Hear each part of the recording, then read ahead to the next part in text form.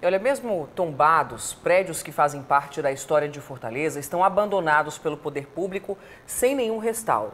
Um exemplo disso é o Lorde Hotel, que fica no centro da cidade. É, são imóveis que deveriam representar a nossa história e contribuir para a ocupação de áreas já esquecidas. Veja na segunda reportagem da série Memória Concreta.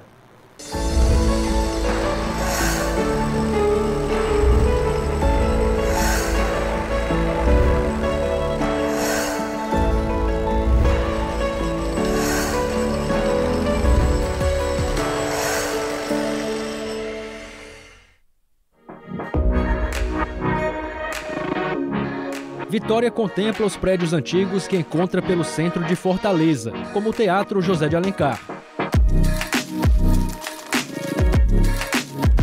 Essas edificações elas contam um pouco da história da cidade. Então, conforme a gente vai demolindo ou fazendo algum tipo de restauro que não é coerente com a legislação, a gente vai perdendo muito isso, né? Vai esquecendo de onde é que vem essa fortaleza, do que é que aconteceu aqui. A poucos metros do teatro, um patrimônio preservado, outro imóvel de valor histórico enfrenta uma realidade bem diferente. O antigo Lorde Hotel. Construído em 1956, o prédio tem oito andares, 120 apartamentos e é considerado uma das referências da arquitetura moderna cearense. Hospedou personalidades e figuras ilustres. Apesar de tombado pelo município em 2006, a estrutura tem se deteriorado e sem nenhum uso. O Fernando trabalha como manobrista de frente ao Lorde Hotel. Ele lamenta a situação em que se encontra o lugar. Uma moradora daqui, do prédio, antiga, ela tinha foto até com Roberto Carlos. Roberto Carlos e o Pelé. Dá uma pena vê-lo nessa situação? Dá, né? Dá pena, viu? O Lorde Hotel foi desativado em 1992. Posteriormente, abrigou pousada, lojas comerciais e também condomínios de apartamentos. Quase foi demolido devido às obras da estação Lagoinha do Metrofor. Em 2020, a Câmara de Vereadores de Fortaleza manifestou interesse em transferir a sede para a estrutura do antigo hotel, o que até agora não se concretizou. Uma ação desta envergadura precisa ser muito bem pensada, muito bem trabalhada, muito bem elaborada, planejada, e como eu disse, isso foi prejudicado esse planejamento neste período pela pandemia. Então, é algo que eu posso dizer para você com certeza que não foge do nosso horizonte, mas também tenho que dizer que não é a prioridade para o momento. Fechado há cinco anos, o prédio onde antes funcionava o Museu do Ceará no centro de Fortaleza também sofre os efeitos da degradação.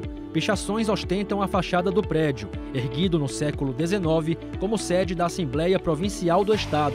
Para Romeu Duarte, professor do curso de Arquitetura e Urbanismo da UFC, o patrimônio histórico não é considerado como parte do planejamento urbano pelos gestores responsáveis, o que contribui para o abandono. Nós temos uma legislação do patrimônio material que este ano vai completar 87 anos.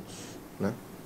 Ou seja, é uma legislação que foi estabelecida quando o Brasil nem urbano era de fato. Uma outra coisa que eu coloco sempre também é que o patrimônio ele tem que fazer parte do planejamento urbano.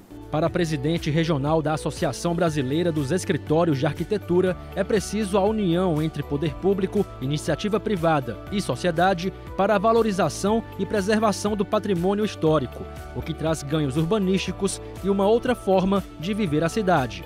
Temos um projeto de uma casa é, de 1919, ali no início da Santos Dumont, acho que muitos já conhecem, já passaram por lá, já foi restaurante. A casa está agora finalizando.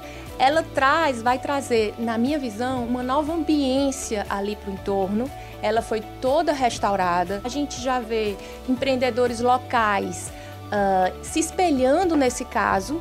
E é um caso muito interessante porque ele trouxe tanto a restauração da casa, mostrando ali uh, uh, o bem original, quase como né, é, fazendo toda a proposta de trazer a sua essência, mas também tem a edificação moderna ao fundo, né, trazendo também o vidro, exatamente procurando propor essas duas diferenças aí entre o moderno e o histórico.